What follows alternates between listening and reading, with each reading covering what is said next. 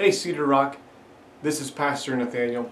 In our recent Sunday message we studied uh, the story of Noah's Ark and the flood and uh, we talked about um, what that really meant, uh, what it means for us.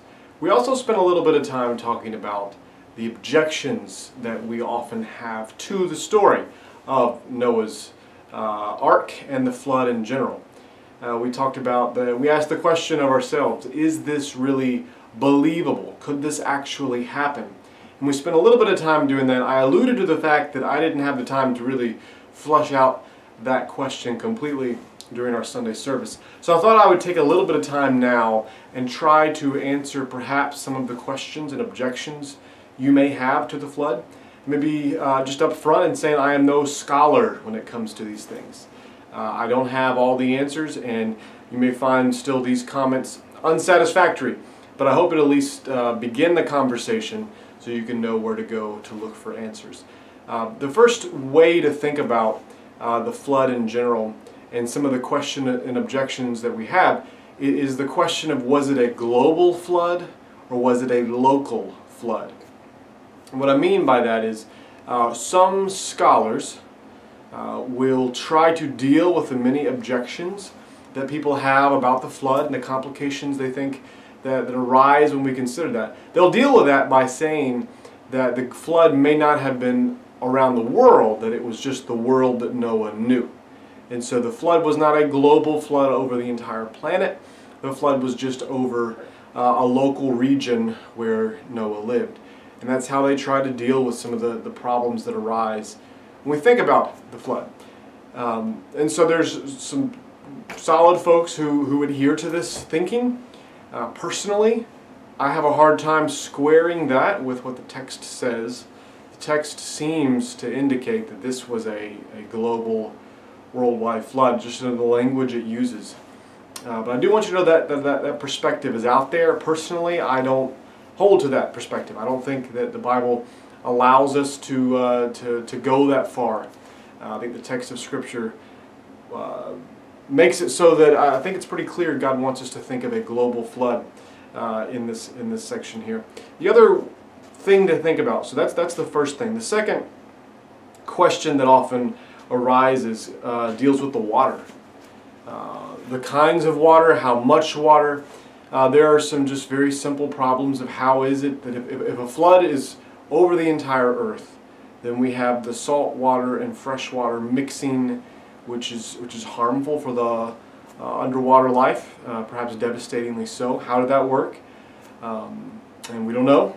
I mean, we have no answers to that, other than the fact that uh, perhaps there was some sort of divine miracle and, and God preserving the animal life, the fish life, in, in, in those ways. Uh, um, so there's that. There's also the question of how could there be enough water. Uh, one of the the, the, we read in Genesis uh, 7 on Sunday how the water covered the tallest mountains. And the tallest mountains today are really, really tall. And for the water to cover those mountains, it would take more water than is currently uh, on the planet to, to be able to do that. So how did that work? Um, the, the most satisfying answer I've seen to this uh, is that the um, it's not that uh, there was more water on the earth back then, it's that the geography was different. And so um, the tallest mountains were not quite as tall as they are today. And in some sense that makes sense. If there is a giant deluge, a flood that covers the entire planet, you think about how devastating a small flood is to the terrain of a certain area. I mean, it kind of devastates the land. A flood that covers the entire earth would have monumental effects on the on the land itself, on the topography, on the geology, on the geography, um, on the tectonic plates themselves. I mean, you can imagine that if, if this much water pressure is, is pushing on the land, that that may have forced some of the tectonic plates to move in such a way that these mountains have emerged. That's just uh, one, one guess. So the way that the waters covered all the mountains is not that there was that much more water, but that the mountains were that much shorter back then. That's, that's one way to deal with that particular objection. Um, and as far as the animals, uh, you know, we wonder how in the world could Noah fit all of the animals in the world on the ark? And uh, the answer is he didn't fit all of the animals in the world. Um, for one, uh, fish life, marine life is excluded from this. So things that could survive in water were not included in the list of things that, that weren't, went on the ark.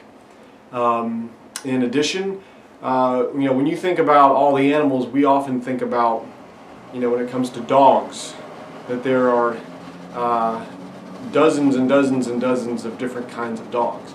Well, in that example, uh, Noah probably didn't take all of the kinds of dogs. He took uh, two different dogs, two dogs, uh, and that from those came uh, the rest of the dogs that we have today. That's just one example. In other words, he didn't have to take every single subspecies of every kind of animal uh, because within a given species there is room for interbreeding and, and for the, the variation that we see among uh, dogs or cats or turtles or whatever. There's different kinds of turtles, different kinds of birds.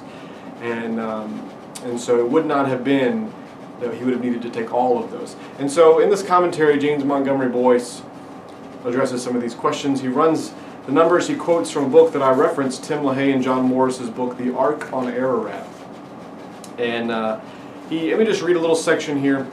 Um, uh, and so he's, he says, um, total animals that we know, 1,072,300. He says, this is a large number, of course, but not all these species had to be on the ark. Obviously, the fish did not, nor did the tunicates, the echinoderms, mollusks, etc., etc., etc. Simple subtraction brings the previously large number down to approximately 35,000 or 70,000 individual animals, one male, one female. Moreover, although we usually think of large animals when we think of the ark, like elephants, hippopotamuses, giraffes, most land animals are in fact quite small. The average size is less than that of a sheep.